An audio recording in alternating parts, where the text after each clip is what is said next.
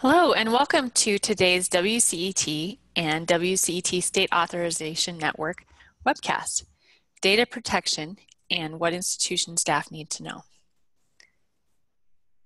My name is Megan Raymond. I'm the Assistant Director of Programs and Sponsorship here at WT, WCET. As we go through, if you have any questions, go ahead and enter them into the chat box. We'll hold questions until we get through the presentations and then we'll be sure to get to those. But if there's several questions that we need to interject and uh, interrupt the speakers to address, we will certainly do so. You should have received the PowerPoint slides via your email with the link to this presentation today. We'll also be sending out any shared resources, a link to the recording, and the slides after the live presentation. You can also follow along in the Twitter feed the hashtag is WCET Webcast, and feel free to pose your questions there as well. I'd like to go ahead and introduce today's moderator, a good friend and colleague of mine, Cheryl Dowd, who is the director of WCET's State Authorization Network. Go ahead, Cheryl. Hi, everybody. Thank you, Megan, for introducing us and uh, for uh, setting us up for this webcast for today. Um, I'm very pleased that we're able to um, share two presenters with you. Uh, one of them, SAND members will remember from last year, um, Trina, Tina Rodrigue, and uh, also our other presenter is Baron Rodriguez, and uh, Rodriguez, excuse me. So let me tell you a little bit about them. Oh, first, uh, I see here um, the slide before you is about the question box, and that's something that um, Megan addressed just a couple minutes ago. We will address questions at the end of the presentation. There is a question and answer box. You'll see that in your dashboard. Monitor the question box, um, and you'll see Q and A will be at the end. But the Q and A box is where you're going to put your questions in um, for us to address at the end of the presentation. Could you go ahead one more, please, Megan? Here they are. These are our presenters for today. Um, Baron Rodriguez currently leads the data sec- privacy and security efforts for WestEd, a research oriented nonprofit organization. His focus is on improving information security best practices for all aspects of an organization's work beyond just the information technology components, such as staff awareness and training, contractual safeguards, and legal considerations. Baron is an expert on FERPA, GDPR, and many other data privacy laws. Prior to joining WestEd, he was the director of the U.S. Department of Education's Privacy Technical Assistance Center and the National Center for Education Statistics State Longitudinal Data, Data Systems Technical Assistance Center. So we're very pleased to have Baron here, and we're very pleased to have back uh, Tina Rodrigue. Tina Rodrigue was formerly with the Department of Ed in the uh, Federal Student Aid um, area. She is still working with the government, but in a different capacity, which I'll let her share a bit about that.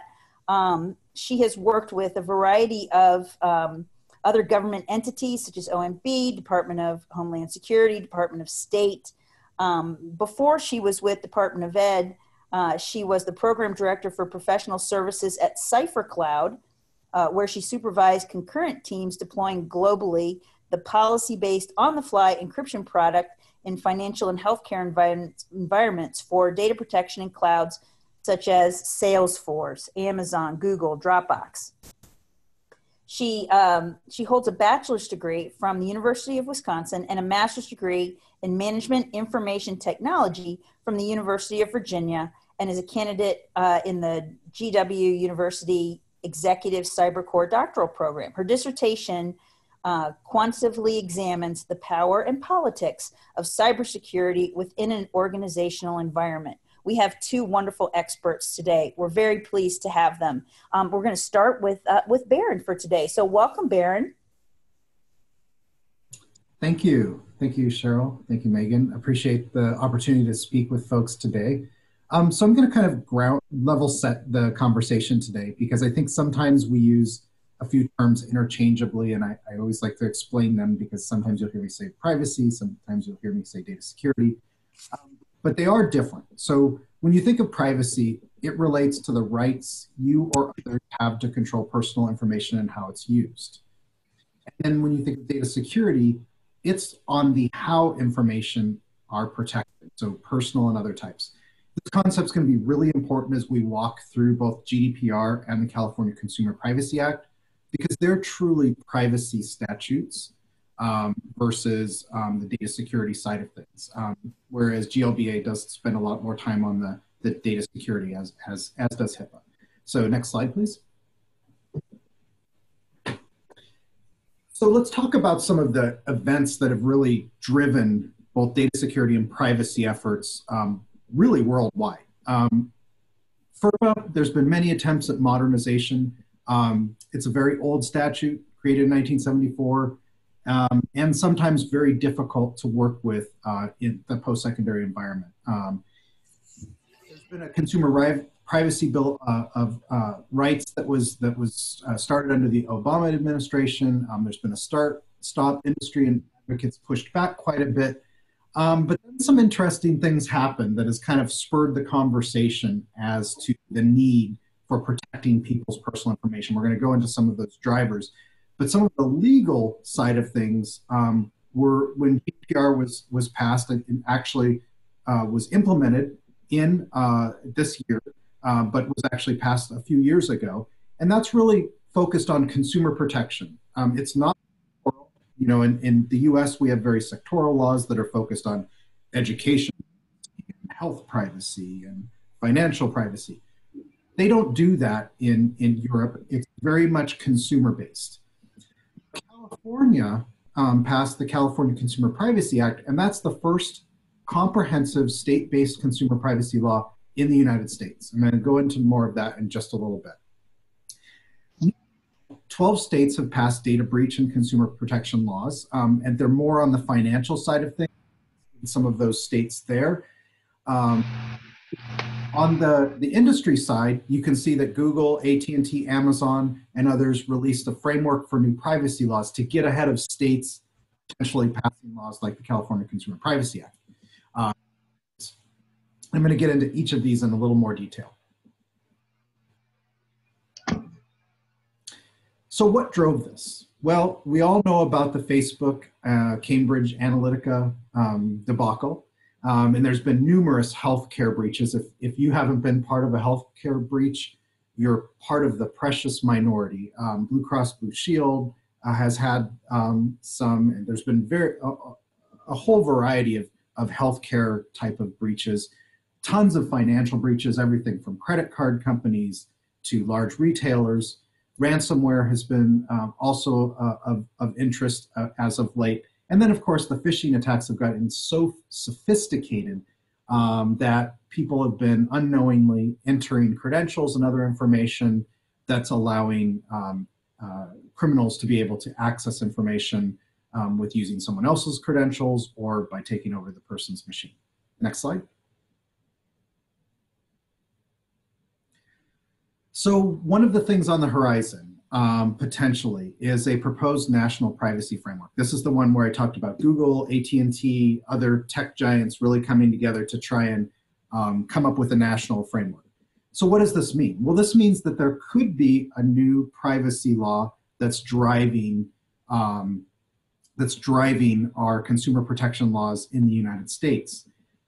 Now, you may say that not a whole lot has necessarily been done on Capitol Hill, and, and one can argue one way or the other there. But I will say that with the, with the tech giants driving this conversation, the thought is that there's a very good possibility that something is passed. Otherwise, states will continue to pass different laws that could inhibit the ability for companies to work state by state. And it also means that you in the post secondary world may have problems moving data from one state to another. So a national framework might be a very good approach to deal with a very patchwork privacy type of situation that may be developed should this not happen. So what are some of the things that they talk about? Well, one is um, collection and use of information responsibly, transparency about how data is being used, um, making sure that you maintain the quality of information so that consumers have the ability to change their information. Sounds a lot like FERPA, right? Um, making it practical for individuals to control the use of their personally identifiable data so they can opt out um, more easily, um, giving individuals the ability to access, correct, delete, and download information that's collected about them, um, including requirements to secure personal information. Next slide. Um, and so what it would do is it would hold um, potentially organizations accountable for compliance, um, focus on risk of harm to individuals, uh, distinguish direct services from enterprise services, um, really try to think about um, the, both the, the ability for, for data to move from state to state so you can see the geographic scope side of things. Um, and then also this will allow us to work more seamlessly with, for instance, Brazil's national law, Canadians' privacy laws, and GDPR, for instance. So without this um, transfer of data between the United States and other countries is difficult as well. Next slide.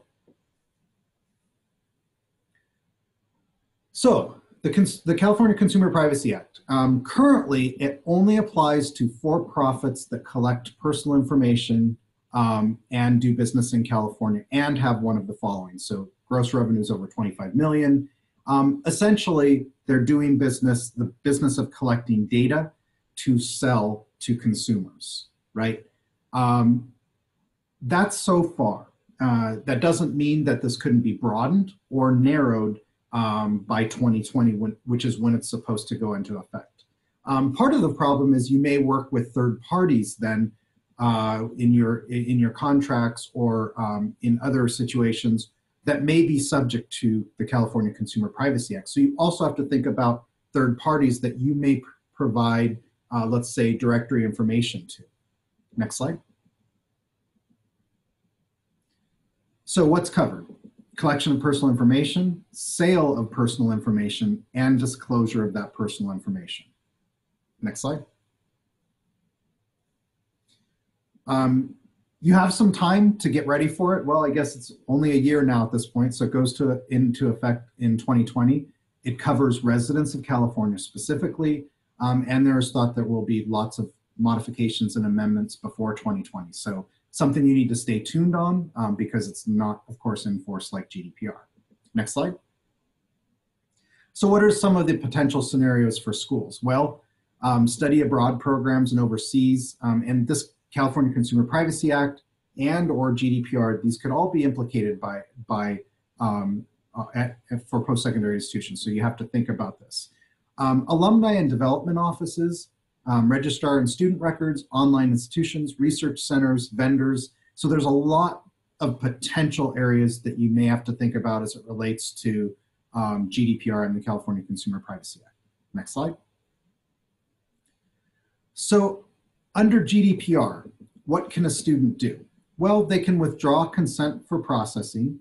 They can request a copy of all their data, and this is for European Union citizens. They can request an ability to, to move their data to a different organization. They can request that you delete information that you consider no longer relevant, and they can object to automated decision-making processes such as profiling. Next slide. So on the regulated side, what does that mean to you, right? Um, and I was at a conference recently, a post-secondary conference, where the, the, the, conversation was, well, what are they going to do? They can't enforce here in the United States. Um, certainly that is, is something that you can think about um, and that could be approach that you take. But if, if, your, if your institution was um, potentially um, fined by, by the European Union or by a country within the European Union, that information is still public um, and it could prevent some of your international students from wanting to go there. So I, I don't think that's the, the right approach and the right way to think about it. Instead, because you've got the California Consumer Privacy Act and potential nationally privacy, national privacy legislation, your privacy program should be considering these types of laws coming anyway. So you might as well start down the path of being um, more transparent with your, your um, data security and your protection and use of data. So what they can do, um, oops, sorry, go back one. Uh, they can um, impose temporary data processing plans. They can require data breach notification. They can suspend um, data flows. So if you have a, a campus, let's say in Spain, um, they could then say that you're no longer allowed to transfer data from the US to that campus in Spain. Um, and they can enforce penalties of 20 million euro or 4% of your annual revenues for non-compliance.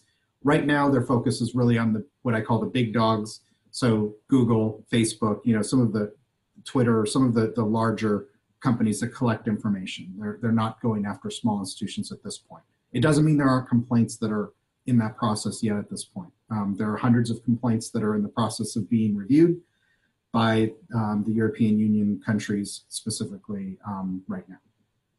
Next slide. So on the cybersecurity side, so just like FERPA, GDPR requires organizations to implement appropriate technical and organizational measures. Um, and that means thinking about encryption of personal data at rest, um, ability to ensure ongoing confidentiality, integrity, and availability and resilience of processing systems, the ability to restore and provide access to people's data in a timely manner, um, and of course to uh, process for testing and evaluating the effectiveness of your privacy and cybersecurity systems. Next slide. Um, there are some requirements, and I've seen a lot of post-secondary institutions including this in their notice in case they have European Union uh, citizens. So you have to provide um, um, your policies and provide uh, students with information, including um, your, your retention periods, who you're going to share the data with. So think alumni organizations, third parties, if you're transferring that data internationally. Um, you have to do it in plain language. You can't use those the legalese um, oftentimes that, that is used in notices has to be easy to understand. You have to review it on a regular basis. We recommend at least annually, but we recommend that on the FERPA site as well. Um, and then there's a specific checklist that I provided for, for you in this, in this slide that will give you more specifics. Next slide. The last thing I want to bring up is, is um, whether or not you need a data protection officer a data privacy officer. Um, if you're an institution that does a lot of research. Uh, you do research on, on human subjects in a large scale. Um, I would say you really want to consider having a data privacy or data protection officer, a point of contact for breaches, but also for um, updating your privacy policies. Uh, so if you're processing um, data on sensitive categories, for instance, on race, ethnicity, uh, other areas like that, you really need to think about potentially having or designating someone in your organization as being a data protection officer. Um, and even if, if it's not required, so sometimes it's required by GDPR, usually for large research organizations, um, it's still a best practice to have a single point of contact in the event of a breach. With that, I think it's Tina's turn. I just wanted to thank Baron. This is Cheryl. Uh, before Tina starts to to uh, provide her presentation, uh, I'm really glad that Baron could share that, and I wanted to just note to everyone that the slides were written in a way that you can share this kind of information in a variety of lists, so that you can review that with colleagues at your institution. And uh, the uh, tentative deck is located on the SAN website, and we will have the final deck with the recording on the SAND website uh, probably by the beginning of next week. But we really appreciate that. And actually, you'll see with Tina's, um, for her presentation, she gives the same kind of structure that Baron provided. So we really appreciate that Baron's providing such rich information. And so I, I, I thank you for that, Baron, and, and I'm going to turn it over to Tina. Hello and welcome. So thank you for switching the slide. So just full and open disclosure, I, I'm here not as a federal employee, but um, representing myself and any opinions or facts I share are gleaned from other sources than my current federal position, uh, and all opinions are mine. so now that we're done with the I'm here to talk to you today a little bit about the Gramm-Leach-Bliley Act and uh, the requirements therein. So first thing that most people will discuss is why higher ed cares about this because they notionally know that this law has more to do with the Federal Trade Commission. Um, so this is an interesting area. The Federal Trade Commission and the Department of Education work very uh, co cohesively together to make sure that they don't step on each other's toes, if you will. So much like how they uh, decided that adherence to FERPA is also adherence to the GLB privacy requirements. Um, FTC is leading a lot of the educational privacy and educational cybersecurity uh, determinations for colleges and universities uh, in the education and higher education further um, has uh, reinforced uh, area of control in several ways. So first, um, they have uh, ruled along with FTC that higher education institutions that underwrite loans or loan money directly or have anything to do with maintaining accounts to include putting meal money on a student ID all qualifies as creating a financial institution qualification for the school itself. So if you're wondering, well, does any of this apply to me? In most instances, it does, unless you entirely outsource all of that activity, which uh, few, if any, schools that I know of do. Um, additionally, if you look at your program participation agreement and student aid internet gateway agreement, both specifically cite the GLBA uh, with regard to what standards you should follow and the timeliness of your reports. Um, further, under HEA, there's a pattern and practice of establishing cyber as an administrative capability. And in the last uh, year alone, uh, there have been uh, multiple institutions where they have run into situations where they were not adequately protecting the data. There were multiple breaches, and they found their access to the student aid internet gateway suspended. Now, to date, uh, I do not know of any uh, institution that has had their financial aid access permanently disabled. Uh, however, in at least one case, it took more than a year for it to be reinstated. So just know that if you are receiving FAFSA data, that is considered federal data that must be protected, just as you would consumer financial data.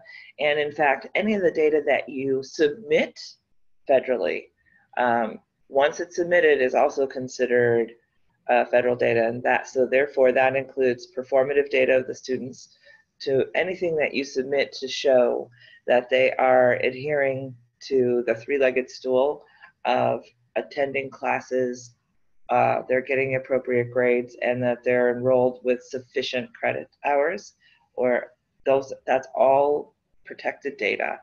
Um, you may not notionally think of it as uh, privacy data, but for, for the purposes of GLBA, it is um, everything along that line must be protected. Next slide, please.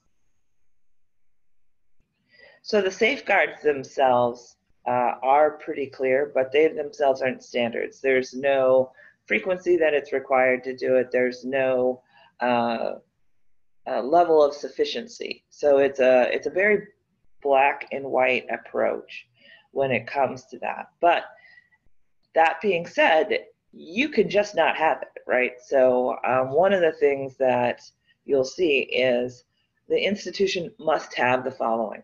And these are straight out of 16 CFR 314.4b, right? In terms of it's straight from the law. So when um, I was working at Federal Student Aid, people would say, well, I have a policy or I have a program, but it's not documented. All of those are insufficient.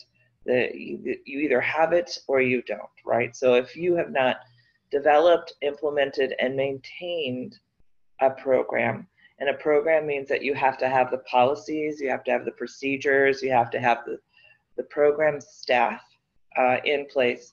So similar to an academic program would have a rubric and you would know how you're going to proceed in a given time period, semester, quarter, what have you. Uh, cybersecurity program has to have all these things as well. Um, and the person who uh, is in charge of it also has to be an employee. So you cannot outsource this activity. Uh, and that, that goes to the heart of who on your staff is in charge of this. Um, many times there isn't a formal chief information security officer, but there has to be a living person who is actively doing it and, and make sure that when they do it, it is sufficient so that any risks that you've identified are well controlled. And so what that further establishes is that you have to do risk assessments and you have to establish controls. And this will be uh, reiterated further on in GLBA.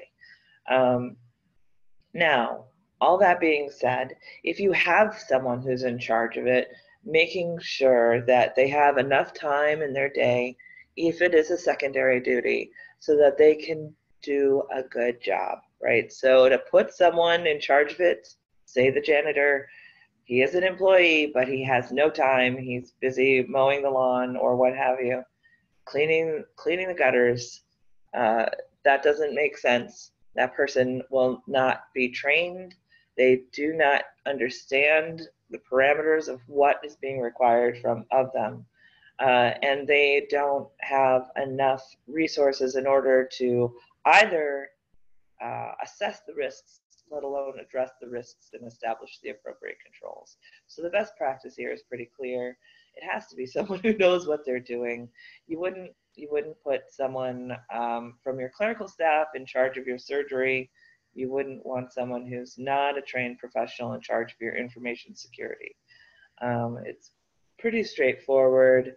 Uh, however, most people worry, especially financial aid administrators, because they don't have a background in information security. They don't know what all the laws are, and they don't necessarily understand what this means. Um, so, suffice to say that if you were to take a three by five card and write information security program on it and put your name on it, you might fulfill the letter of this law, but it's it would not be sufficient.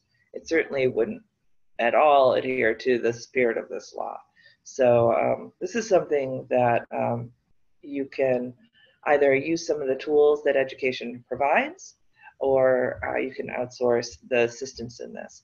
But just know that as you move forward, it is inherently your responsibility to take care of all of this. Next slide, please. So part of what we were talking about earlier is assessing risks. So again, the law itself requires that you have to do assessments of reasonably foreseeable internal and external risks. So this gets to the point of how are you getting threat intelligence? Uh, for those of you who are um, from a public school, you can today for free sign up for the multi-state ISAC or MS ISAC and they will give you threat intelligence. For those of you who are research uh, institutions, you can join the REN ISAC, R E N I S A C, and we can uh, share those links. Um, I don't believe REN ISAC is free, um, but it is certainly better than having a breach. Um, the cybersecurity insurance uh,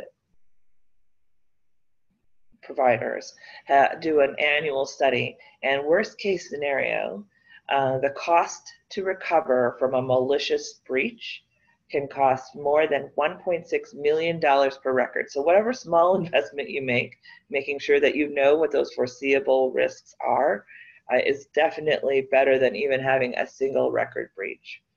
Um, if you're not doing these internal self checks or you can get an independent assessment. Independent assessments are typically not free. So it again would require um, an investment. And so you, you just need to establish a schedule so that you know how often you're doing these risk assessments and how often you're uh, correcting or those findings. And then as you move forward, making sure that if you do have or if you do have an area of risk, whether it be from an internal source such as an employee, or an external source, such as a bad guy trying to hack in, uh, that you have the appropriate place in mind. So, um, in terms of safeguards, right? So, making sure again that you have a schedule, that you have safeguards in place, and best practices here are making sure that you are able to um, detect when it, it happens. So, either testing your controls and or making sure that you have monitoring is also a requirement and you would know whether or not you have this today you would know whether or not you test this and you would know whether or not you have a monitoring uh, plan and approach.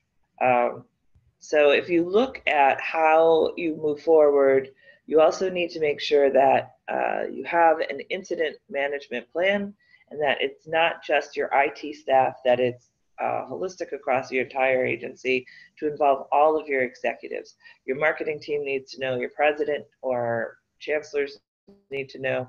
Um, everyone involved with a full um, incident or emergency should be also included in this if you have a breach.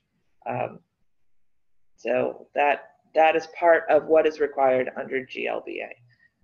Um, and uh, as Jeff G just points out, REN-ISAC does have some terrific services uh, and a staggered cost model. So thank you for sharing that, Jeff. Um, additionally, if you do outsource this or any amount of data that's protected data that should be confidential, you know, data, you need to first know that you can't outsource the responsibility. It is always your data, it is always your job to protect it. And therefore, if you have someone who's helping it, it needs to stay as safe as if it never left you, right? So, service providers are anyone who can have access to the data. Uh, cloud providers, contractors, third party servicers, if you use someone to destroy your data, they count. Um, now, there is one way to avoid having say your third party servicers or your cloud providers be considered service providers under this and that is encryption. If they can they can store the data but they can't see the data. And this is the same for your internal staff. If they if they can get to the store but they can't unencrypt it they can't read it clear text then uh, it's already considered safeguarded. So you just need to make sure that you are taking reasonable steps to make sure that it is not only as safe as it never left you, but also as safe as it never left the Department of Education. Um, and so part of the way that you have to do this is by making sure the contract language is well written and that it is enforceable. Um, the other thing is, is the requirements under the uh, SAIG agreement are such that you have to report it immediately.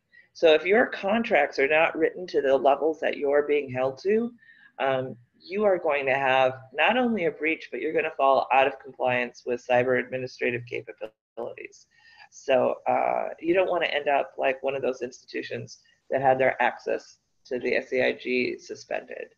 Uh, but just make sure that you work with your legal um, to make sure that you have these appropriate measures, that it's held to GLBA, and that any time frames are appropriate to what you're required to do. Um, and last but not least, if there's something that you keep within your hand as your responsibility, please make sure that whoever is in charge of it is doing it. So not only do you need to oversee the service provider, you need to make sure your staff are upholding their end of the bargain there was a institution um, that narrowly avoided having their access suspended. And what happened was they had had a breach because they left default passwords on. And they sent the contract to the department to say, no, look, we contracted this out, it's great. And within it, they kept the responsibility of security uh, testing, design, and uh, configuration in their hand. Well, when a default password is still in a system three years later, you know, the three things that didn't happen were security design, security configuration, or security testing. So if you put your own people in charge of uh, group activity, both service providers and your own staff, just making sure that you have uh, more than one set of eyes checking to make sure it's done. And again, that these are trained professionals it's of critical importance. Uh, next slide, please. Also, as you move forward, uh, especially um, as your uh, institution grows and expands, making sure that your information security program is tested, monitored, but also as you change, as you add programs, as you add executives, as you have any sort of divestiture or merger, anything along that line that has a material impact to your institution, that should be reflected in your information security program. Uh, previously, when I worked at FSA, we would have a few institutions that had a program, had a person in charge of it, but it hadn't been updated for years. And it, it's the difference between you know the description of an apple and looking at the institution and seeing applesauce. They they're related, but they're not the same. Um, so you should make sure that as you move forward, that you are protected against the known foreseeable cyber threats. And some of those that are pretty prevalent today, um, there have already been alerts around um, phishing attacks and stealing credentials to change students' uh, login so they can steal their deposits. But this also happens with faculty and staff uh, logins as well. There was, in fact, uh, one university where all of the faculty and staff uh, got an email saying that they'd each gotten a raise and they had to log into the portal in order to see how much. And they dutifully clicked the link provided to go ahead and see how much they got in terms of more money. Because who doesn't want to raise? And unfortunately, that university didn't have an employee portal. So the bad guys got 200 uh, different credentials. Now, you might be asking yourself, well, what would they see? So, what we've seen from the Iranian attacks and others is that there's often a multi prong approach. So, the first thing that they'll go for uh, often uh, are the data about the faculty themselves. So, they find out uh, where they live, what they do, what, and things like that. And we see a lot of follow up um, where the the W-2s themselves can be stolen. So they're not always after the students' consumer data. Sometimes they're after the faculty and staff. And so we saw a market increase in people's tax returns being stolen based off of W-2s that were taken from institutions. Additionally, what we've seen is once they get a bite at that apple, they get the W-2, then they come back to see what else they can find. So with the Iranians, a lot of it was intellectual property. They were stealing intellectual property, uh, trillions of dollars worth of uh, patent uh, and other technical data, and then they may come back and get the consumer data. So we so the part of the problem is is that again, if your uh, event, that doesn't mean that it's one and done. They can keep coming back. And then we also saw where they would change other direct deposits where um, sometimes even the institution's uh, relationship with banking was changed. All right, next slide, please. So all of these safeguards are in place to make sure you're safe. So just think about how you're uh, training your employees, how you're training your management staff to make sure your employees are doing the right things, are your policies up to date? Is your program up to date? Do you even have training? Is anybody trained? Um, it's ironic to me sometimes that education institutions don't have education around this topic. Um, and then if you're looking at your information systems, it's not just a crunchy outside, so many people are using cloud and other technologies. Look at your entire network, software, cloud design, how you transmit, store, dispose of data, what are your risks covering that? Do you ever look at your code to make sure that the products that you have have been developed safely? Is anything obsolete and still being in use? You know, just think of your data like a river. So wherever it flows, is is it shored up? Uh, is it safe? Um, and the best practice, as provided by the IRS, is that you have two safeguards for any. So we're all very familiar with a clean desk policy and keeping a shade, or, but at any instance, you should have two safeguards, um, whether it's a lock and a key, a guard and a gun, uh, or some other methodology to include administrative, technical, or physical controls, right? Because if you, again, as mentioned earlier, if you can't detect a event, you certainly can't prevent it and you can't respond to it. And so it can be a situation where you have an advanced persistent threat that goes on for a long time.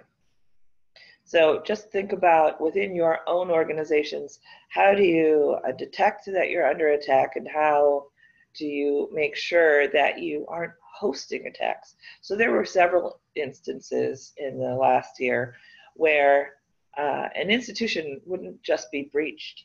The bad guys would set, set up shop and they would start using that domain uh, to start hosting other attacks. So then you start facing the liability for the damage that they do because you both did not detect and then didn't prevent other attacks. Um, also, as you're pulling these together, making sure that it's not just technology focused, but human system focused, there have been some atrocious cases where uh, employees who had authorized access still misused the data for terrible reasons, um, both causing physical harm as well as financial harm to the students. So uh, making sure that you know how you're managing insider threats and access, and then that you have a very clear idea of how you will address it if it happens. Um, and just word to the wise, there were so many institutions when they were originally contacted, at least for my position, who either denied that something was a breach or made sure to say that they weren't responsible. Um, that is not the correct answer. Next slide, please. Because within GLB, it says very clearly that these risk assessments are to prevent any unauthorized disclosure, misuse, alteration, uh, destruction, or other compromise of material. And we saw a lot of schools that would end up having 50% of their records destroyed by ransomware. And in one instance, it was unrecoverable. They had not done a backup. So, as you think about the things that are foreseeable threats, right? Ransomware, phishing attacks, insider threats, these are all things that need to be done. And this is complete alignment with what you should already be doing and also um, that was further forwarded GDPR. Um, so, last word if you even suspect this is happening, I highly recommend that you report it to the Department of Education immediately and then do your uh, investigation and uh, to make sure that you're right. You can always call back and say, you know, what, we thought it was a breach, but it wasn't. Um, there's been a lot of talk about what is what what do you mean by suspect or real the, the idea is much like if you were having a stroke time lost is brain lost right when you're in the middle of a breach especially if it ends up being a massive multi-level attack which does happen um, the iranians attacked over 100000 professors and staff because they knew what they wanted in terms of their target, right? The, the quicker you report it to the Department of Education, the faster they'll be able to correlate it and then bring in the appropriate people with guards, badges, and guns if necessary. Um, but we all have to work together to make sure that you don't have the security and confidentiality of your student information breached, that you have high degree of confidence in the security integrity against such hazards and that if you do have that problem that you're not causing harm or inconvenience to your students. So and that's one of the things uh, that uh, one of my friends would like to argue well it's to the degree of substantial harm or inconvenience well inconvenience is at the perception of the student and if you can think about what level uh, they start to feel inconvenienced. I know that I had discussions where even a five minute delay, especially on the finals, would be considered substantial inconvenience. So um,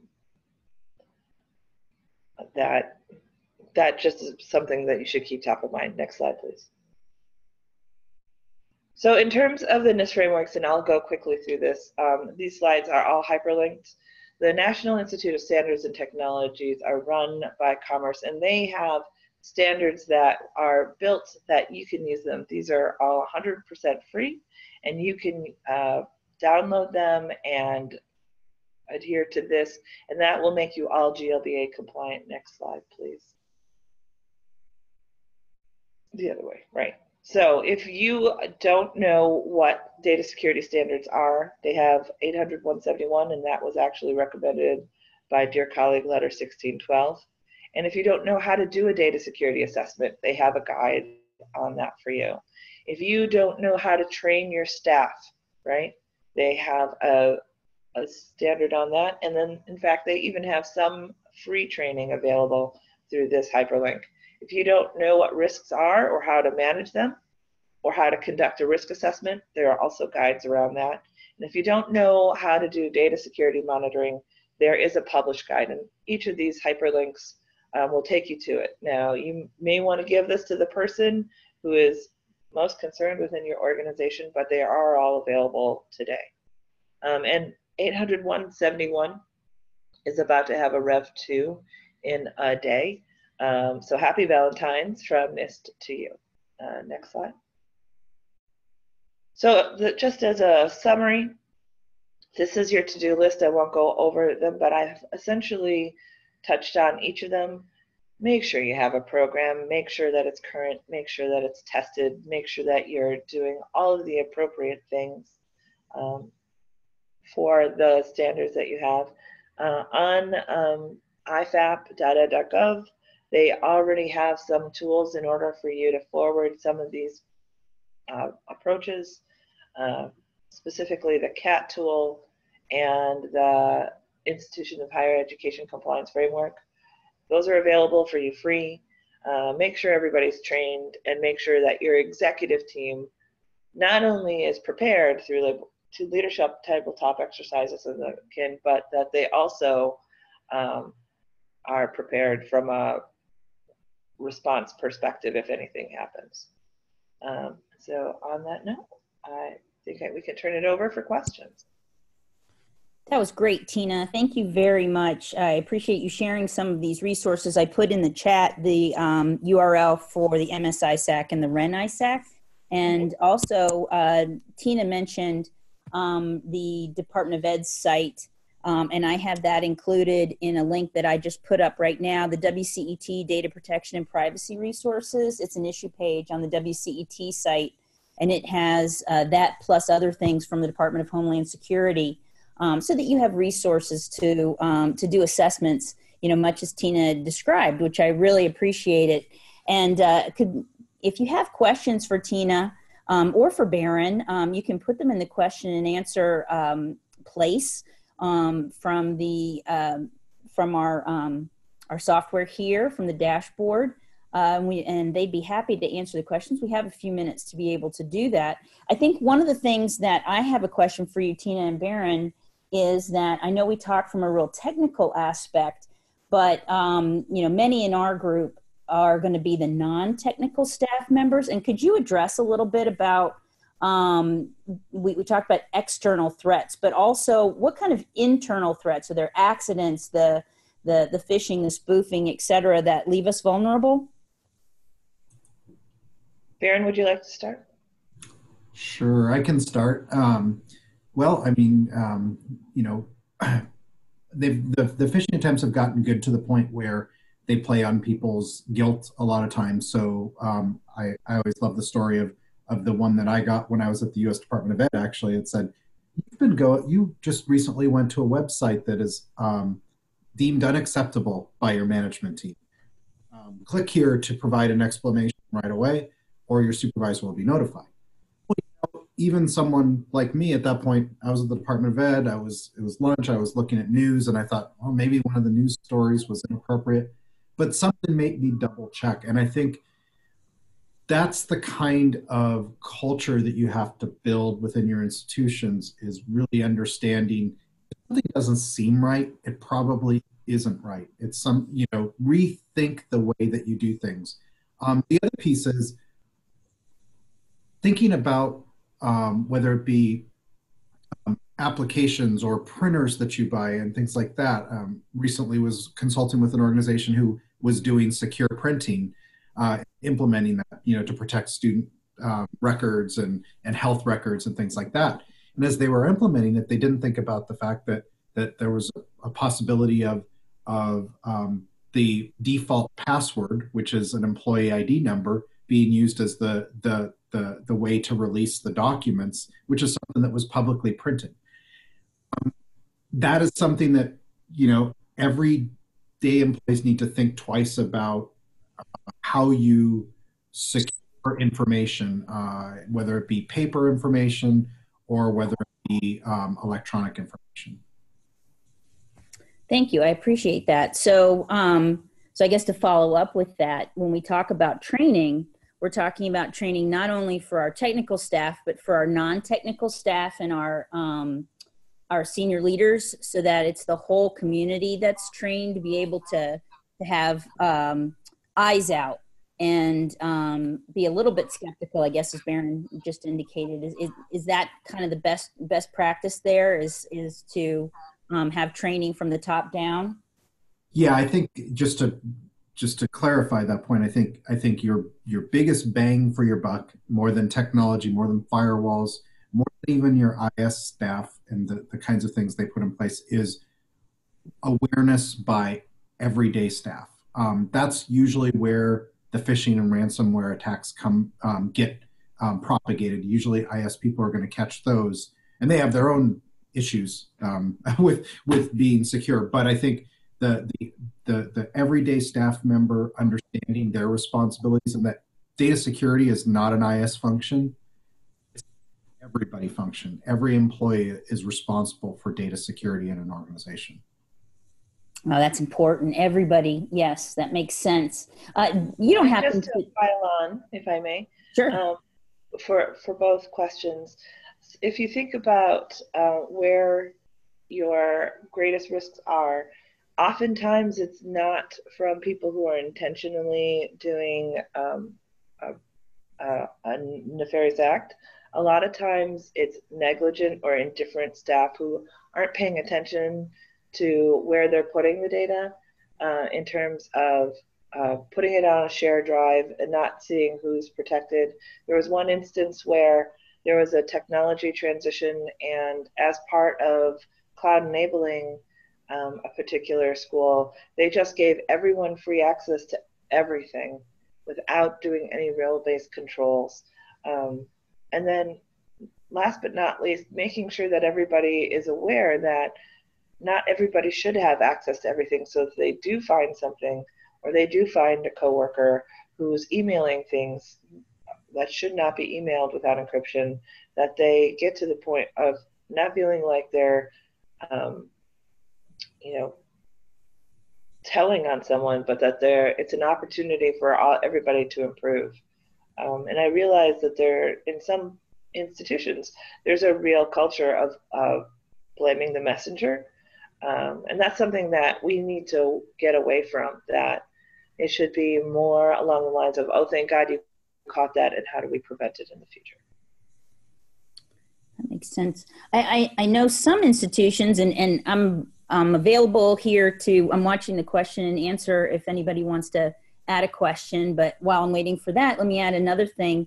Um, am I accurate in saying that sometimes these uh, breaches into our systems also could have an impact on infrastructure? So it's not only are we protecting data, but we're also for our institutions we have a concern about ultimately about infrastructure. Is is that a correct uh, connection? Yeah I, i'd like to start on that one baron if i may. So part of the struggle is that in a lot of these institutions if you break into uh, one aspect whether it's the hospital or uh, the web page there's not enough segmentation so they essentially then get full reign and they can have access to anything. So that's why having uh, credentials be compromised is such a big deal because they, you know, if if I was to use a house as a metaphor, they might be breaking into a bedroom, but they're not going to just stay in the bedroom. They're going to explore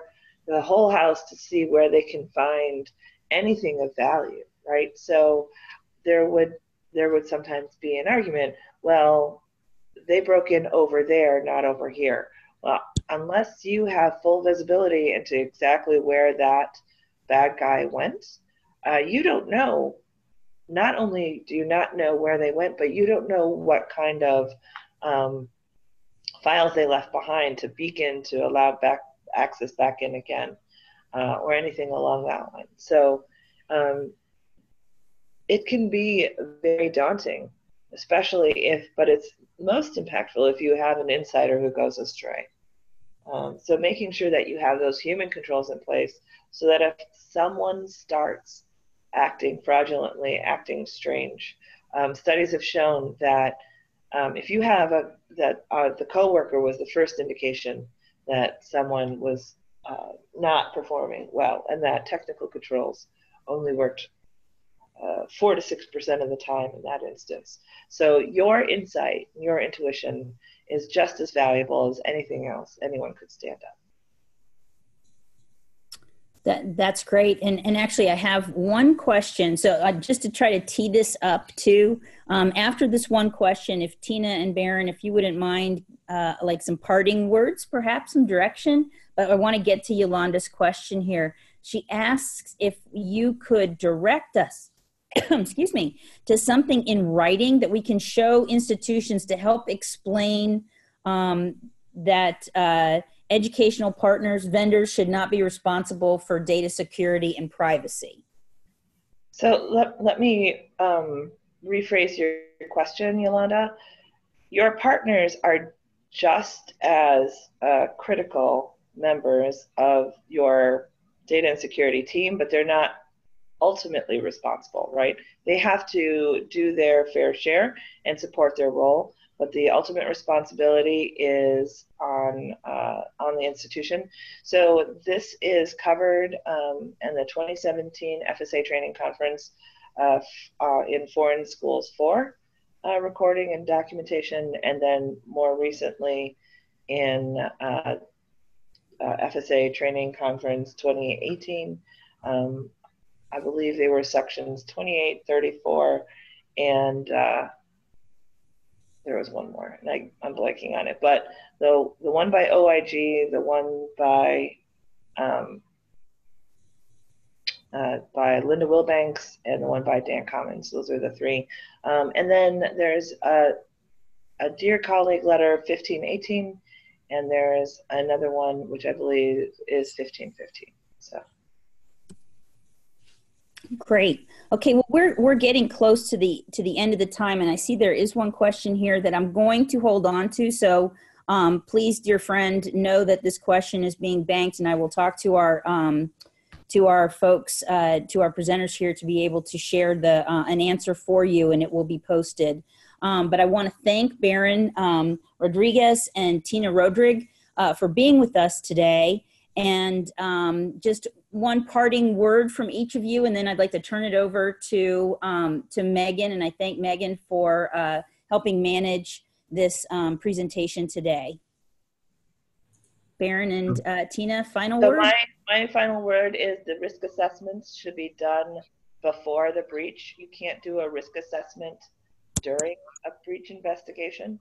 Um, that's the wrong time uh, so risk assessments are proactive, incident response are during the breach, and you should, the education standard is if you know or suspect a breach, report immediately. Great. And Baron, final word? Yep, my final words would be um, information security and privacy starts at the staff, um, not within technology, not with an outside even outside assessments where you use, you know, where you do risk assessments. So remember that most important thing you can do for your organization is still that that um, mindset of protecting your information assets um, because we're all responsible uh, to protect the assets that we're given, both financial and um, student data. Great, thank you. Megan, I'm going to turn it over to you. Um, I think this has been a really wonderful session, and thank you all for being here, and I'll, I'll let Megan close us out. Great, thank you so much, and thank you to our speakers. Thanks to Cheryl for opening up this content to the whole WCET community. We're thrilled that so many of you joined us today. And lastly, I just want to acknowledge our sponsors that help underwrite much of our programming here at WCET. So hopefully we see you on the next WCET webcast. Thanks all. Have a great day.